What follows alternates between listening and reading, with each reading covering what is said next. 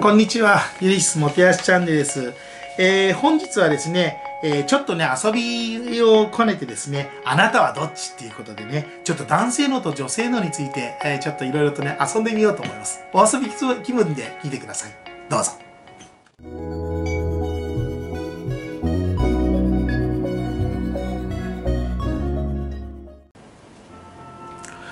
こんにちは。ゆるいすモテヤスチャンネル委員長の林でございます。今日のテーマはこちら。あなたはどっち？男性脳女性のテストということをやります。ちょっとね、いつもの講義と違って、お遊びみたいな感じで気楽な気持ちで見てください。えー、ではですね、もう早速始めちゃいたいと思いますけど、男性脳と女性脳って皆さんどういう定義をするかってことあると思います。一応今回に関しては、まあ男性脳と女性脳っていうとそうですね、まあ女性から見たでも男性から見たでもいいんです、使えるようにするんですけども、まあ例えば問題があった、発生した時に、こうバーッとぶつかって、で、翌日からでもこう肩組んで、わははってできるのが、例えば男性脳だとで、例えばその問題が生じて、うわーってやり合った時に、もうなんかこう後ろでチクチクやっちゃったりとか、こうなんかこう引きずっちゃうのを、まあここで言う女性脳だというふうに思ってください。まあ、決して女性が、あの、なんていうのかな、あの、ちょっとこう、長く引きずるよっていうことを私が言いたいわけではないんですよ。え、ここのテストをまあいろいろやってきたグループの中での話なんですけれども。で、あの、あとはね、例えば、あの、結構ね、めめしいってよく言いますけど、こう、なんか、ふにゃふにゃ、ふにゃふにゃとこうずっと問題が発生してるんじゃなくて、自分のことになると、なんかこう、うまくいかないなんていう話は、これはもう男性も女性も関係ありません。あくまで対面でぶつかった時の話ですよ。でね、えー、男性脳の方の方が、えそういう意味ではスッキリしてるって言われてるんですけれども、えー、意外と男性脳の人たちは信じやすいの。パッと信じて新しいものがいいものだってなんて思っちゃうのも男性脳の特有で、えー、女性脳の方は結構保守的で、こう、今までのものをトラディショナルにこう守っていく、伝統的に守っていくっていうのが、あうまかったりします。例えば人事で言うと、えー、これは外資系のところの人事でよくやるみたいなんですが、あの例えば、えー、営業戦略で、他者と競合しながら、こう他者を潰していってでも、こうブルドーザーのように行くときには、男性の方がいいそうですね。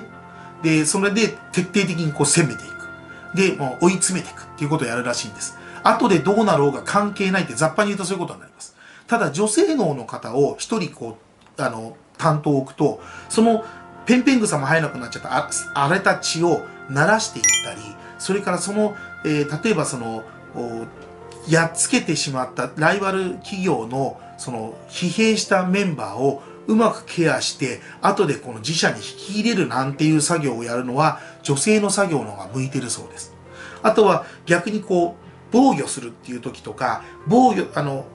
こう、劣勢に立たされて巻き返しを食らう時に防ぐ時には、女性が後ろについていた方、準備させてた方がすごく守りがうまくいくっていうことも、あの、外資系なんかのところの人事ではよくやってるそうですね。私は外資系の取締役じゃないんですけども、あの、以前そういうことを、あの、えとある方から聞きまして、なるほど、そういうこともあるんだなということでね、えー、だいぶ有名な方からなんですけど、非常に勉強になりました。えー、っと、ちなみにですよ、でも、そういった脳のね、テストをするときに、自分はもうこれ生まれ持った理由なので、こう、先天的なものなので、まあ、例えば、後天的に後で人から影響を受けたりすることによって変わることも当然にあるんですよ。なんですけど、まあ、ここはね、ちょっと一つお遊びだと思ってやってみてください。では、まずやり方です。右手と左手をまっすぐこうやって出してみてください。はい。私の場合見てみると、これ人差し指ね。これ、な、薬指ね。薬指と人差し指の高さを見てください。はい、見ますか？そうすると、私の場合は、人差し指の方が短くて、薬指の方が長いですね。で、この薬指の長い方が男性脳です。はい。逆に、こういう、まあ、できねえや。人差し指の方が長い人ね。こういう人は女性脳って言われてます。で、試しに自分で見てみてください。なるほど。自分は女性脳だな、男性脳だなっていう程度ですけども、参考にしてみたらいいんじゃないかと思ってやってみました。あの、ちなみにね、右だけ長い、左はこっち違うなんて人もいらっしゃると思うし、ほぼ一緒なんて方もいらっしゃると思うんです。そうするとね、私はどっちなんだろうって思う方もいらっしゃいますけれども、あの、えー、ちょっとね、言うと元も子もないですけど、どっちでもいいんです。